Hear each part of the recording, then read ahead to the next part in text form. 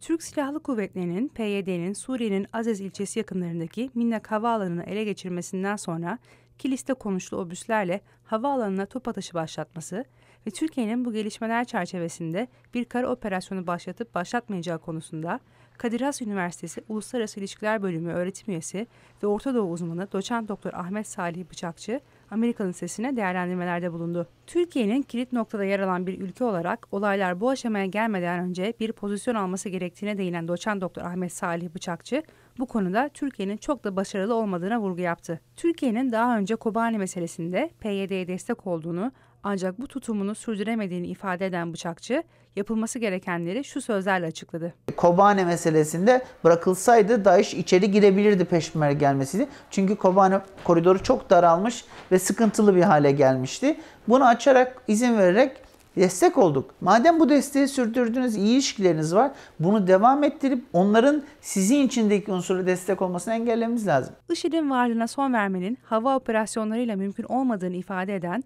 Orta Doğu uzmanı bıçakçı, bunun için kara operasyonuna ihtiyaç olduğunu ancak bu kara operasyonun Türkiye'ye ağır sonuçlar doğuracağını belirtti ve Türkiye'nin asla böyle bir müdahaleye girmemesi gerektiğini kaydetti. Bıçakçı, Amerika'nın Afganistan ve Irak'taki durumunu örnek gösterdi.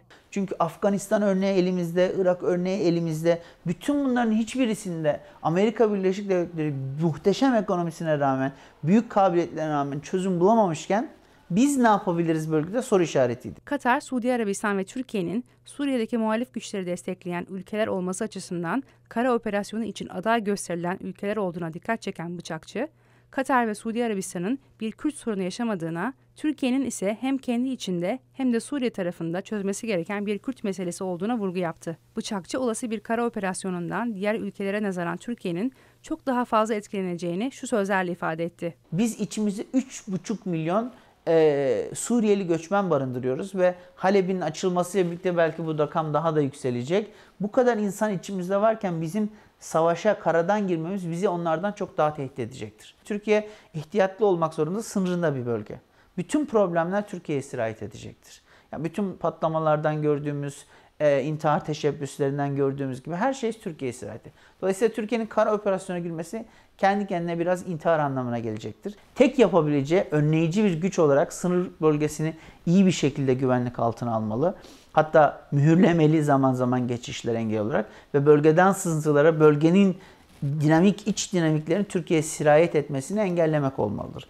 Bunu yapmadığı takdirde başka problemler gelecek günlerde çok yoğun ve ağır bir şekilde eleştirecektir. Türkiye'nin kara operasyonundan ziyade sınır bölgesini iyi bir şekilde güvenlik altına almasının önemini vurgulayan doçent doktor Ahmet Salih Bıçakçı, Suriye'nin iç dinamiklerinin Türkiye'ye sirayet etmesinin engellenmesinin çok önemli olduğunu beyan etti.